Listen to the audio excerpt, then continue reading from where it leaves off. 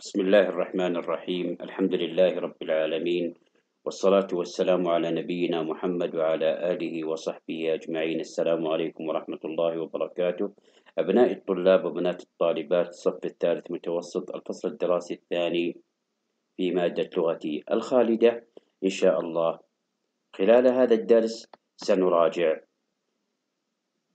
التحليل الأدبي والرسم الإملائي والرسم الكتابي.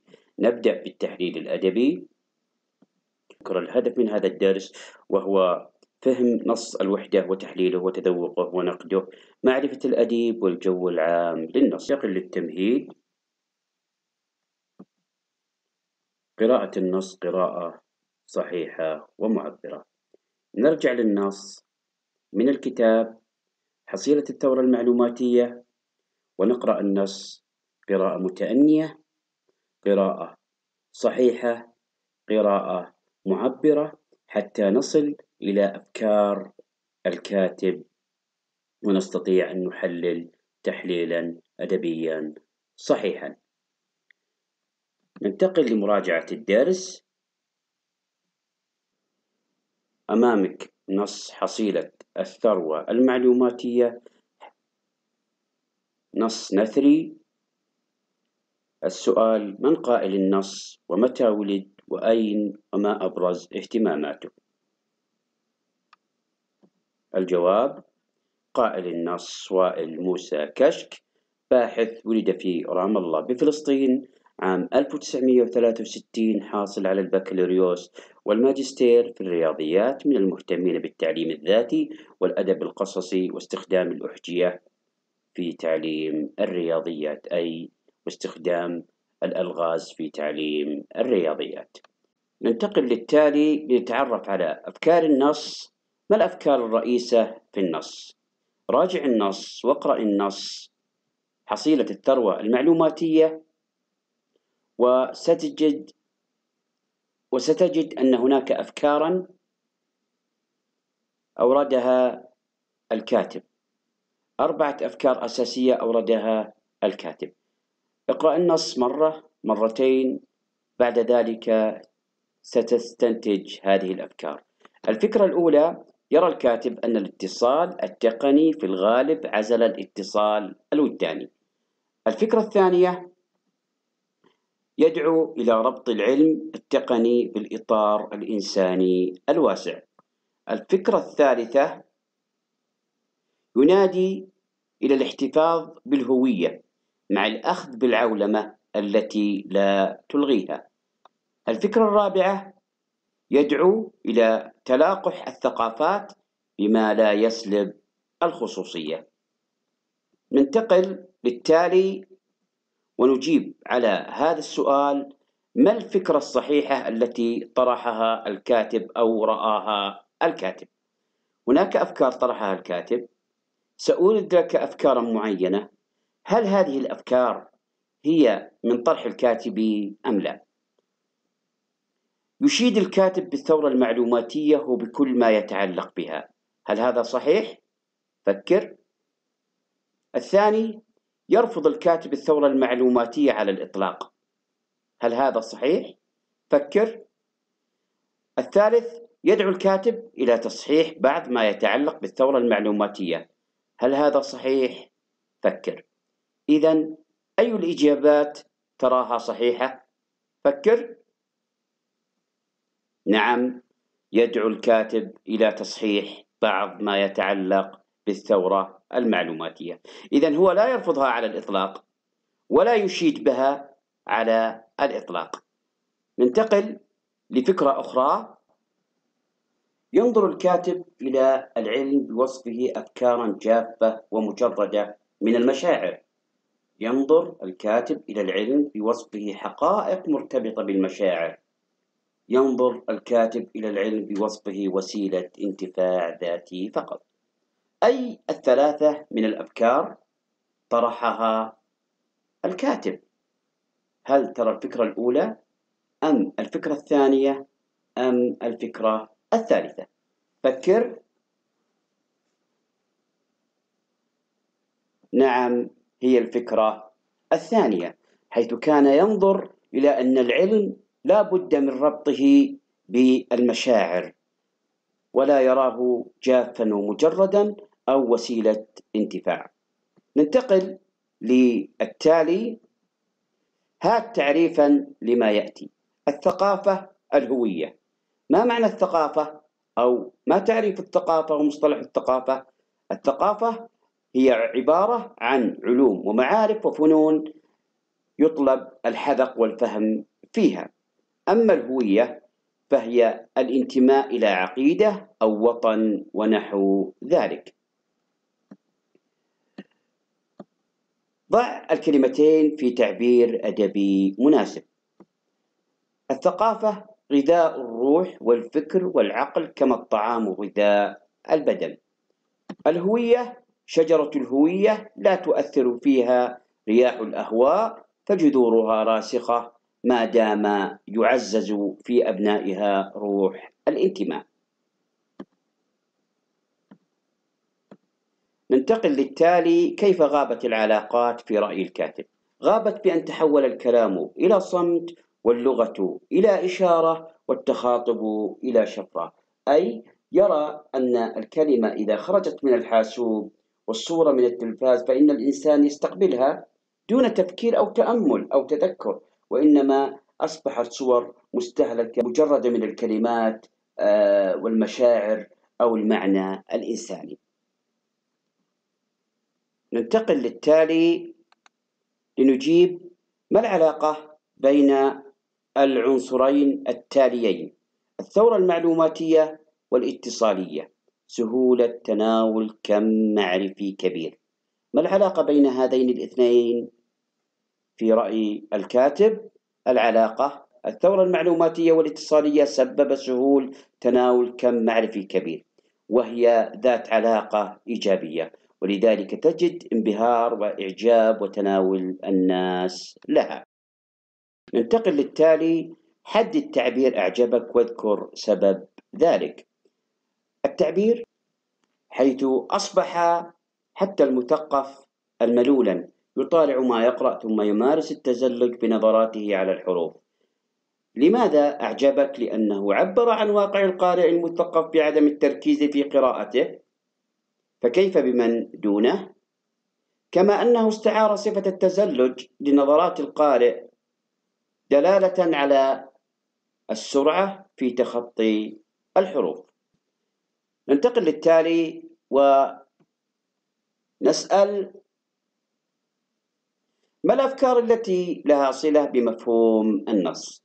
أمامك الآن أربعة أفكار. هذه الأفكار بعضها له صلة بمفهوم النص.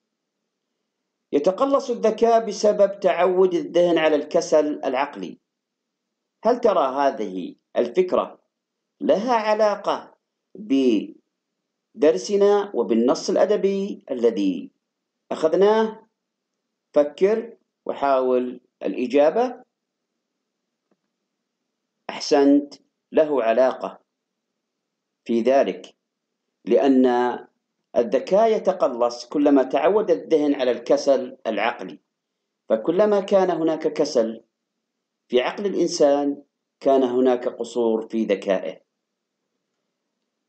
باء ينبغي أن تكون العلاقة بين الكاتب ومتلقي علاقة حميمة.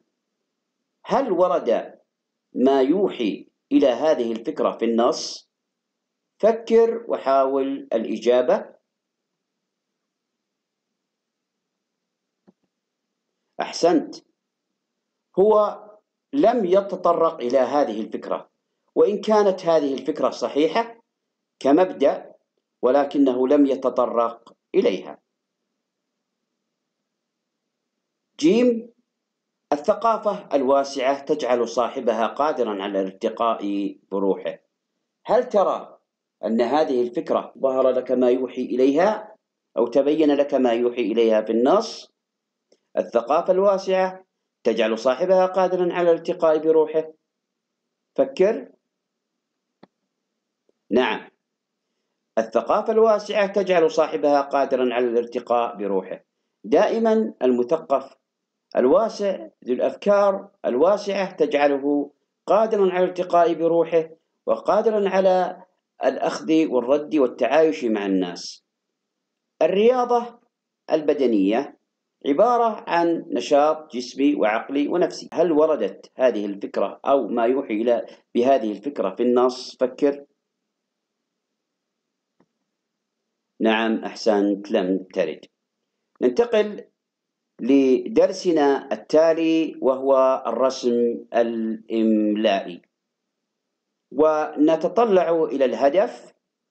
الهدف التعرف على الكلمات التي تحذف منها بعض الأحرف خطا مع نطقها في أولها وأوسطها وآخرها. التعرف على الكلمات التي تحذف منها بعض الأحرف خطا مع نطقها. في أولها وأوسطها وآخرها. سنتعرف على بعض الكلمات التي ننطق ننطق أحرفا فيها ولكن هذه الأحرف لا تكتب مع الكلمة ولكنها تنطق. التمهيد نمهد للدرس بهذا السؤال. أوضح الكلمات التي وافق رسمها نطقها.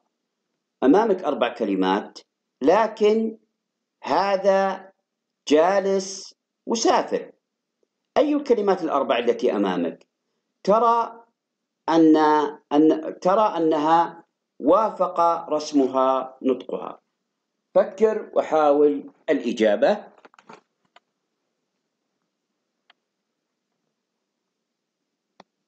نعم كلمة جالس أو جالس وكلمة مسافر. هاتان الكلمتان. لاحظ حرف الجيم والألف واللام والسين. وافق الرسم الكتابة كما نطقت بها رسمتها. ومسافر كذلك. نلاحظ كلمة لكن مكونة من أربعة أحرف في النطق ولكن في الكتابة وفي الرسم ثلاثة أحرف. كلمة هذا هذا مكونة من أربعة أحرف في النطق ولكن في الرسم والكتابة ثلاثة أحرف. إذا هذا هو درسنا. ننتقل للمراجعة. ونبدأ بمراجعة الدرس. ما الصحيح في كتابة الكلمات التالية؟ أمامك الآن مجموعة من الكلمات. الله ذلك أولئك الرحمن. هل نكتب الله بما تراه الآن من رسم أم نكتبها بالرسم الآخر؟ بالرسم الذي كتب لك على اليسار. ذلك هل نكتبها بهذا الشكل أم بالشكل الآخر؟ أولئك بهذا الرسم أم بالرسم الآخر؟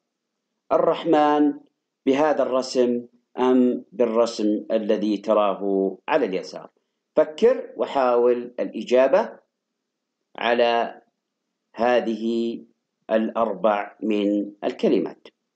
إذا الإجابة الله نكتبها بهذا الشكل ذلك نكتبها بهذا الشكل أولئك نكتبها بهذا الشكل الرحمن نكتبها بهذا الشكل. لماذا؟ هذا ما سندرسه؟ بعد قليل. ننتقل للتالي إذا ما الرابط بين الكلمات السابقة؟ الله ذلك أولئك الرحمن. هناك رابط بين هذه الأربع كلمات فكر وحاول الإجابة. حذف الألف مع نطقها. الله حذفت منها الألف. ذلك حذفت منها الألف. أولئك حذفت منها الألف. الرحمن حذفت منها الألف بعد حرف الميم. لكن مع ذلك ننطقها. مع ذلك ننطقها. إذا نطق الألف مع عدم كتابتها. هذا هو الرابط بين الكلمات الأربع ننتقل للتالي ونحاول أن نحصر الكلمات في لغتنا الخالدة التي تحمل حرف الألف تنطق ولا تكتب. تنطق ولا تكتب. الكلمات كالتالي مجموعة الكلمات الله الرحمن إله طه لكن. هذه مجموعة كلمات مختلفة وهي لفظ الجلالة الله والرحمن صفة الرحمن وإله صفة الرحمن وطه وكلمة لكن كل هذه الكلمات الخمس لاحظ أن فيها ألفا تنطق ولا تكتب. هناك مجموعة أخرى نحصرها بمجموعة أسماء الإشارة وهي هذا وهذه وهذه وذلك وهذان وهؤلاء وأولئك وذلكم وكذلك وهكذا. لاحظ هذه الكلمات كلها فيها ألف نطقت ولم تكتب. هناك كلمة أخرى وهي ابن. ابن تحذف ألفها أيضا ولا تكتب ولكن قد تكتب أيضا بشروط. تكتب أيضا بشروط. وإن شاء الله سنبين ذلك لاحقا. ننتقل للتالي ونسأل متى لا نحذف الألف في إبن. هناك أربع حالات لا يمكن أن نحذف فيها الألف في إبن. الحالة الأولى عند التثنية والجمع مثل أن نقول إبنان. إبن هات التثنية منه نقول إبنان أو إبنين. وهات الجمع منه نقول أبناء. الحالة الثانية إذا وقعت بين اسمين غير علمين مثل المعلم ابن المعلم. لاحظ أن المعلم صفة والمعلم الآخر أيضا صفة. فعندما نقول المعلم ابن المعلم نأتي بالألف ونكتبها. وكمثال آخر المهندس ابن الطبيب مثلا. ننتقل للثالث. إذا فصلت بين الاسمين العلمين كأن تقول مثلا خالد وابن محمد. خالد وابن محمد. الفاصل بينهما حرف العطف. تقول جاء خالد وابن محمد. فعندما فصلت بحرف العطف أتينا بالألف ورسمناها وكتبناها. ونطقنا بها كذلك. الحالة الرابعة إذا وقعت في أول السطر مثل أن تقول كان أمير المؤمنين الخليفة العادل عمر بن الخطاب لا تأخذه في الله لومة لائم. لاحظ عمر والخطاب عبارة عن علمين وهذان العلمان إذا وقعت بينهما ابن على الأصل أنك تحذف همزة ابن. ولكن إذا جاءت ابن في أول السطر وهي بين العلمين فإنها فإن الألف تكتب. فإن الألف تكتب. كما ترى أمام هذا النص كان أمير المؤمنين الخليفة العادل عمر ابن الخطاب لاحظ كلمة ابن هنا لاحظ كلمة ابن هنا جاءت في أول السطر فلذلك كتبنا الهمزة. كتبنا همزة الوصل ولو كان ولو كانت ابن بين العلمين ولكنها في وسط السطر ليست في أول السطر فإن الهمزة تحذف فإن الهمزة همزة همزة الوصل تحذف ننتقل للتالي ونجيب على هذا السؤال متى نحذف ألف الرحمن؟ الرحمن كما ترى هنا لفظة الرحمن كما تراها حذفت ألفها رغم أننا ننطق بها. إذا متى نحذفها؟ نحذفها إذا كانت علما يعني اسما مقرونا بأل التعريف. مقرونا بأل التعريف. إذا وإذا كانت غير ذلك غير مقرونة بأل التعريف فإننا نكتبها بالألف فنقول رحمن بالألف رسما بالألف رسما. ننتقل للتالي ونجيب على هذا السؤال هل تحذف الواو في بعض الكلمات ولما مع التمثيل؟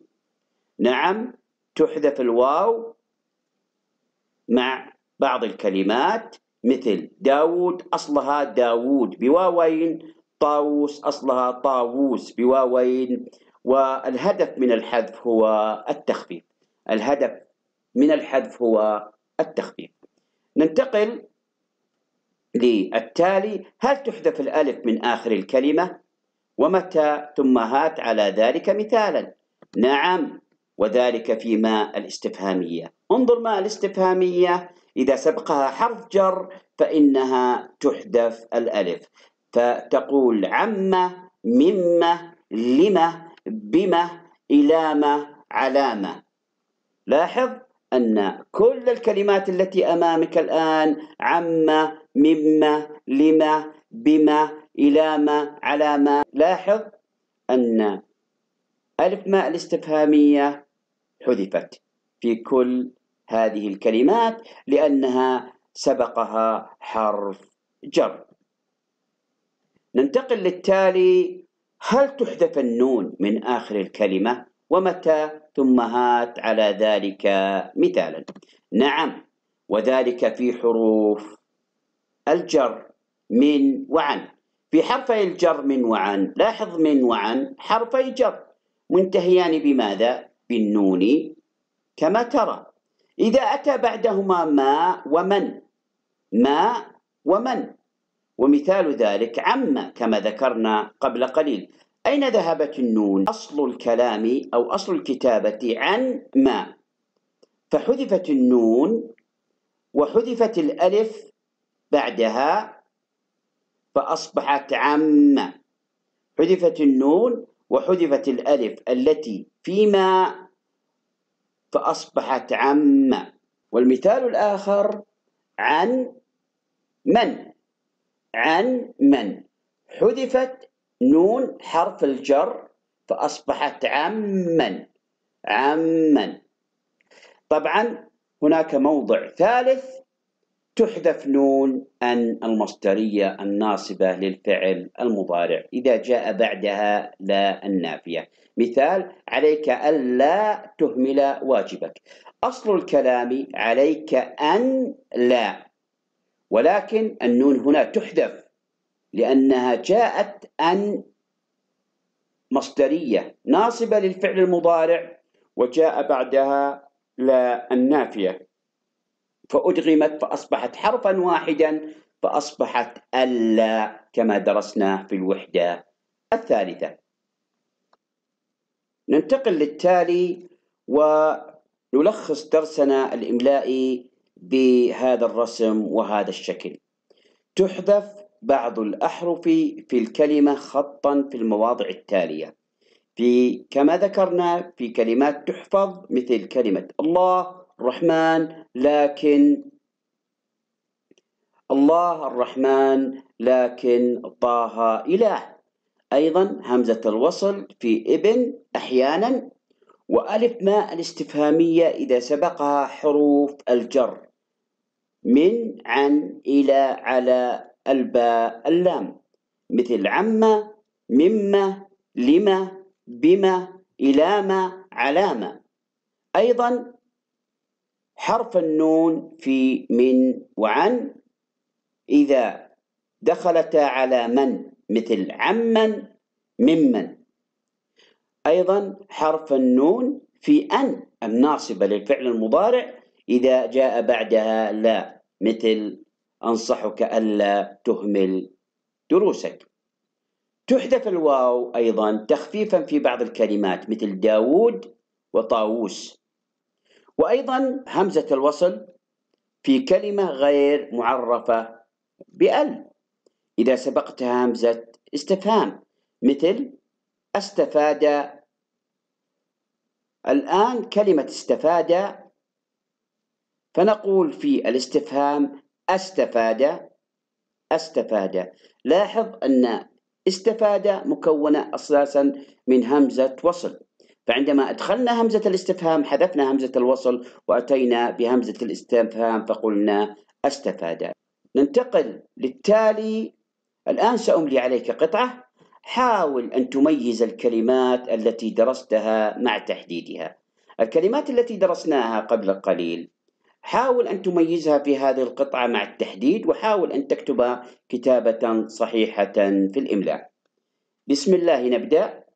ينتشر في هذه الأيام وباء عرف بكورونا أشبه بفيروس الحواسيب.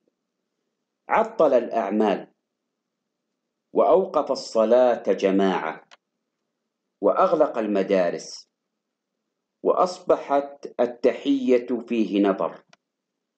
أخذ العالم بالوقاية منه. وفي بلادنا ولله الحمد كانت الأولى في التوعية منذ بداية ظهوره. فلم كانت التوعية؟ وبما يمكن لنا الوقاية منه.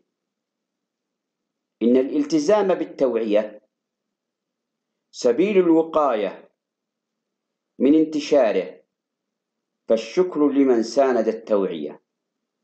وأسفا لذلك الذي يخالفها. فخذوا حذركم وكافحوا لسلامة وطننا. والله الرحمن هو الحافظ على كل حال.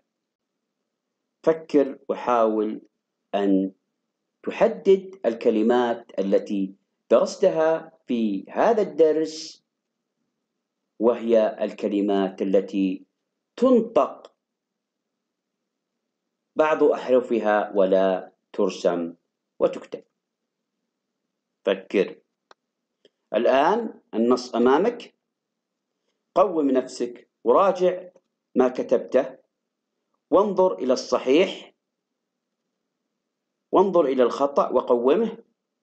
وحدد الكلمات التي أخذناها في درسنا وهي كالتالي ينتشر في هذه وفي بلادنا ولله فلما كانت التوعية. لما؟ بما يمكن لنا الوقاية. بما؟ وأسفا لذلك. ذلك والله الرحمن هو الحافظ. الله الرحمن أمامك الآن. هذه لله فلما؟ بما؟ لذلك الله الرحمن. هذه هي الكلمات التي تتعلق بدرسنا الإملائي لهذا اليوم. ننتقل للدرس التالي وهو الرسم الكتابي ونتطلع إلى الهدف. هو سنتعرف على كيفية الرسم الكتابي الصحيح إيراد أمثلة إرشادية وإعلانية لخط الرقعة التدريب على الرسم الكتابي لخط الرقعة من خلال أمثلة في خطوات ثلاث ملاحظة ثم تحبير ثم رسم. نمهد للدرس بهذا الاستذكار. حاول أن تستذكر أبرز المبادئ التي درستها في خط الرقعة وإن كنت تذكر الأربع مبادئ فاستذكرها وتذكر أن هناك بعض الحروف تكون كتابتها في آخر الكلمات تحت السطر. وأضف إليها حرف الهاء الوسطية وأن هناك بعض الحروف تكون رأسيا متوازية وأن بعض الحروف تكون أفقيا كذلك متوازية وأن المسافة بين الكلمات تكون متساوية. ننتقل للتالي ونجيب على هذا السؤال في المراجعة ما القواعد الصحيحة عند كتابة الخط؟ هناك قواعد مهمة جدا عند كتابة أي نوع من أنواع الخطوط. سنذكرها باختصار. القاعدة الأولى الجلوس جلوسا صحيحا أثناء الكتابة. الجلوس الصحيح مهم جدا أثناء كتابة الخط لأنه يحكم السيطرة على الخط وأحرف الخط. أيضا من المهم استخدام الذراع بأكمله عند الكتابة. لاحظ الذراع المستخدم أثناء الكتابة وهو المتكئ على الطاولة. هذا الاتكاء يساعدك على التحكم على بالقلم ويساعدك أيضا على التحكم في كتابة الأحرف على السطر ووضع الأحرف مكانها الصحيح. القاعدة الثالثة الالتزام بالوضعية الصحيحة لليد. اليد حينما تحسن الإمساك بالقلم أو تجيد الإمساك بالقلم فإنها بالطبع سيكون القلم سلس معها مما تؤدي إلى أن الكتابة تكون وتكون الكتابة سلسة وسهلة على الكاتب. أيضا وضع ورقة الكتابة ما بين زاوية 35 وزاوية 45 لاحظ الورقة كيف تكتب أو كيف هي موضوعة موضوعة بشكل منحني ما بين 35 وبين 45 درجة. وهذه من الأمور التي أيضا تساعد على الكتابة الصحيحة بعكس لو كانت الورقة بزاوية 90 فإنها أو بشكل مستقيم أمام الكاتب فإنها لا تساعد على الرسم الإبداعي والخط الجميل. القاعدة الخامسة القواعد الصحيحة عند الكتابة ليكن رأس القلم مشطوفا حتى تحصل خط على خط أنيق يتبع القواعد. ليكن رأس القلم مشطوفا حتى تحصل على خط أنيق يتبع القواعد. لاحظ القلم الذي أمامك الآن لابد يكون مشطوف. كما ترى هذا الشطف يساعد على أن القلم أو تساعد على أن الخط يكون أنيق متبع للقواعد التي التي آه، تتبع كل نوع من أنواع الخط. كل نوع من أنواع الخط. فالقلم المشطوف ليس كالقلم المدبب. القلم المدبب ربما يحسن التعامل معه المحترفون لكن المبتدئين بالتأكيد لابد أن يكون معهم مثل هذه النوعية من الأقلام التي تساعدهم على أن يكون خطهم أنيق. ننتقل للقواعد الأخرى. تخيل أنك ترسم لا تكتب لتنطبع في ذهنك صورة الحروف. عندما تكتب تخيل أنك ترسم. لماذا؟ حتى ينطبع في ذهنك صورة الحرف.